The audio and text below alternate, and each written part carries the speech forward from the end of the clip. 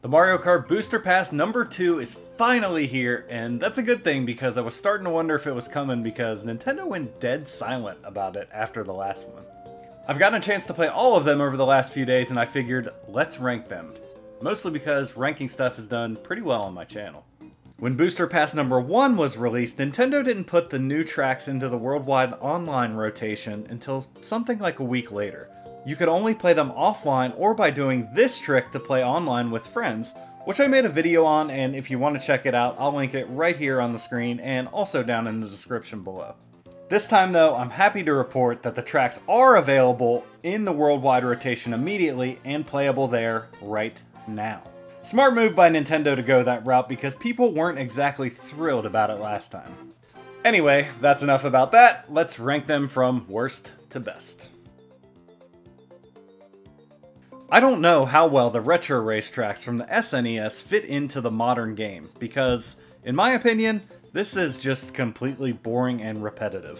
The track is about as basic as possible with not even a hill or incline to speak of, and the surroundings are pretty meh, which makes this good for nostalgia, but I would guess that there's almost zero chance any newcomer really cares about this one. Kalimari Desert suffers from the same knocks as the last one. It's an N64 track and they didn't change much of the scenery from the N64 version. It just seems pretty lifeless and I feel like that's such an easy addition on the developer's end and they decided not to. I did like the change up of having you go through the tunnel on the last lap because that's something you never got to do in the N64 version. By a show of hands, who else played the absolute hell out of Mario Kart Wii?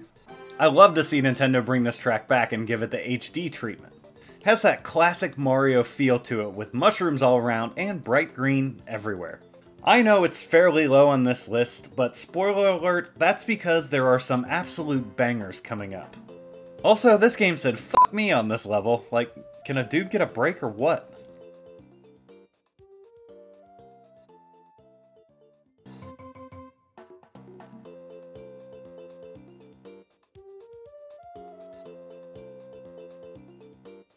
I don't have, and honestly have never even played Mario Kart Tour on mobile, but it seems like a theme of the app is making tracks that are based off cities. In New York Minute, I get some serious New Donk City vibes from Mario Odyssey. I love the bright, vibrant downtown setting and the manholes that shoot up in the air with water. Also, I like how the track changes its direction on all three laps to keep it fresh and interesting. I'm big on how the surrounding area and the like themes are around the racetrack when I play Mario Kart. I have no idea if anyone else is, but that's just something that I pay attention to. In Snowland, I love the icy look of the road, and heck, even the ramps are icy. You know, Nintendo nailed how water looked on this game back when it originally released, and now let's add ice to that because this looks beautiful. Nice to see these little penguin guys back also that seem to always pop up in Mario snow levels now. I never played Mario Kart on the GBA, but I'll just go ahead and assume that it never looked as good as it does right here. This is the first brand new track that Nintendo has given us in either of the booster packs. It's not redone from a retro Mario Kart, it's not even from Mario Kart Tour, though I did hear that this will be headed to Tour, and man, it does not disappoint. The track is basically just up and back, but it has an awesome design where everything is made of desserts ice cream, ice cream toppings, cones, all, you know, all the good stuff. Love this little ice cream diner looking thing at the start of the race, just a cute little detail. It's a pretty short track, not baby park short, but short and sweet. You see what I did there? I hope Nintendo has plans to release a few more brand new tracks in the future, especially after seeing this one. This is how you do the retro tracks right. This one was a huge fan favorite when it was on the DS version, and it's made even better here with an HD upgrade. Racing through a pinball table is just a blast, trying to avoid the bumpers and balls rolling toward you, and putting the racers in close proximity of each other, all make for some chaotic but awesome racing. Glad to see that Waluigi can get some love here, unlike another game. Smash Bros. Excuse me. And we've arrived at number one, and it's freaking awesome. Maybe I should play Mario Kart Tour because the tracks from there just seem to be on point.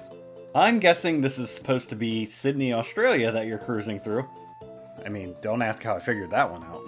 And there's just so much going on around the track. There's people watching, tall buildings, a lake or maybe a pier or bay with boats and bridges and even amusement park rides. And also you get to see the iconic Sydney Opera House. Just absolutely fantastic.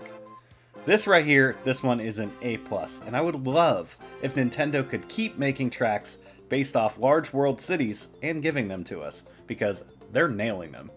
And there's my list of me ranking all the Booster Pass tracks on Mario Kart 8 that were just released. I didn't watch any videos on this before I did it, so I have no idea what the masses are saying about it.